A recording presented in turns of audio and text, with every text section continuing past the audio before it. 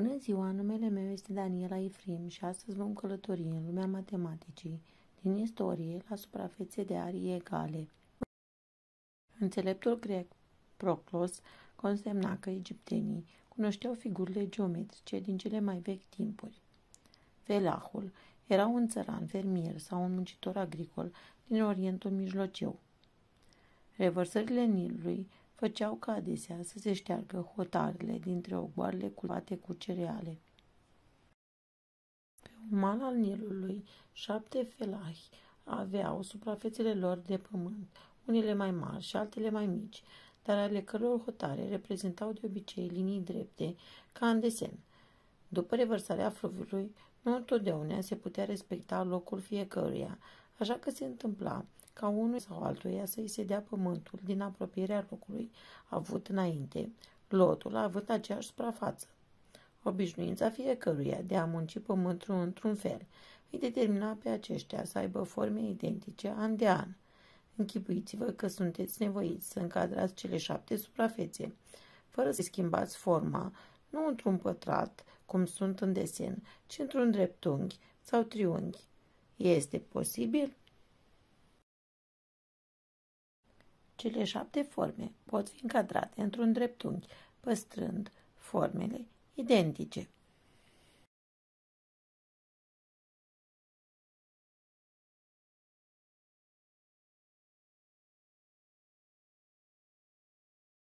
Cele șapte suprafețe au aceeași arie.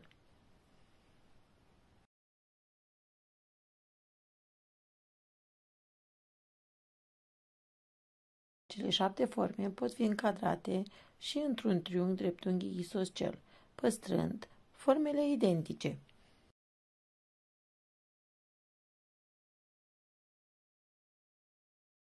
Să calculăm marile celor șapte suprafețe. Suprafața 1. Triunghiul dreptunghi isoscel ABP de latură el supra 2. Aria unui triunghi dreptunghi isoscel este cateta 1 ori cateta 2 supra 2 adică el pe 2 ori el pe 2 totul supra 2, ceea ce înseamnă el pătrat pe 4 totul supra 2, înmulțind prima fracție cu a doua inversată, obținem el pătrat supra 8. Suprafața 2. Paralelogramul GE PF. Area unui paralelogram este lungimea unei laturi și înălțimea corespunzătoare ei, produsul dintre. Este egal cu, în cazul nostru, cu PE ori GM. GM este linie mijlocie în triunghiul EPH, de unde deducem că GM este paralelă cu HP și GM este egal cu HP pe 2, adică el pe 2 totul supra 2, ceea ce înseamnă el pe 4. Area lui GEPF este el pe 2 ori el pe 4, adică el pătrat supra 8. Suprafața 3. Triunghiul dreptunghichi social HGF. HG este egal cu HE pe 2.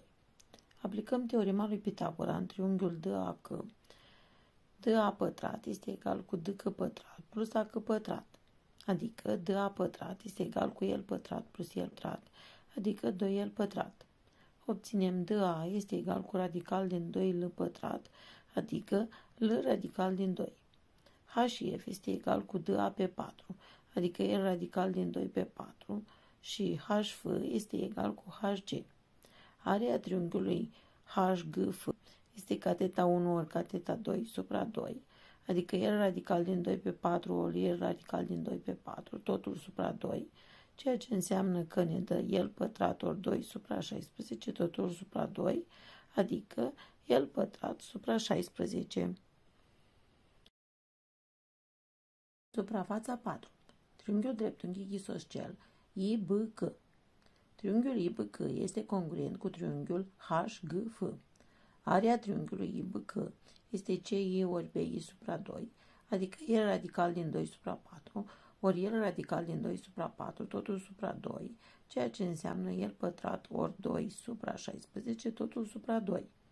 Mulțim prima fracție cu a doua inversată, simplificând, obținem area lui IBC este egal cu el pătrat supra 16. Suprafața 5. Pătratul I, H, F, B. Area pătratului este egal cu el pătrat. H, F este egal cu DA pe 4, adică R radical din 2 supra 4. Area lui I, H, F, B este egal cu R radical din 2 supra 4, totul la puterea a doua, adică vine L la a doua ori 2 supra 16, simplificând obținem el pătrat supra 8. Mai putem calcula într-un mod aria pătratului IH FB. Este dublu ariei triunghiului HGF. Evident, vom obține același rezultat. Suprafața 6. Triunghiul dreptunghic isoscel HCD.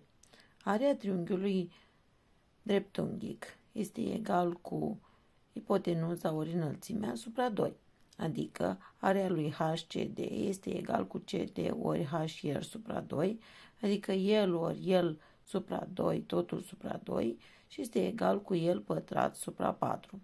Suprafața 7 este echivalentă cu suprafața 6 sau putem spune că area lui H e D este egal cu HD ori H e supra 2, adică el radical din 2 supra 2 ori el radical din 2 supra 2, totul supra 2 și obținem el pătrat ori 2 supra 4, totul supra 2, înmulțim prima fracție cu a doua inversată, obținem că area lui H e D este egal cu el pătrat supra 4.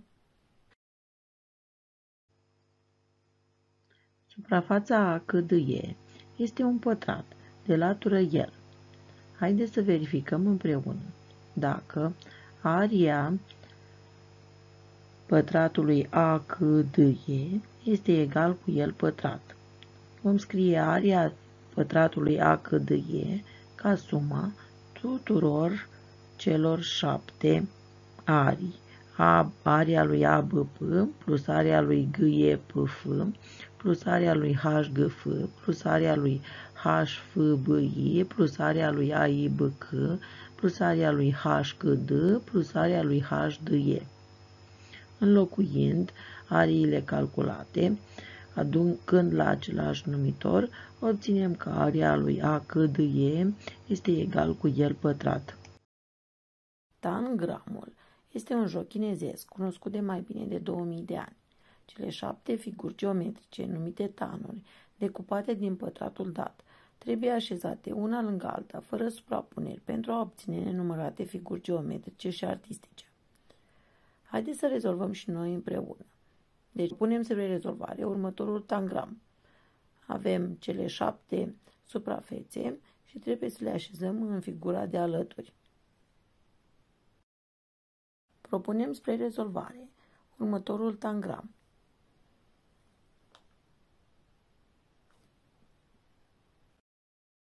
Propunem spre rezolvare următorul tangram.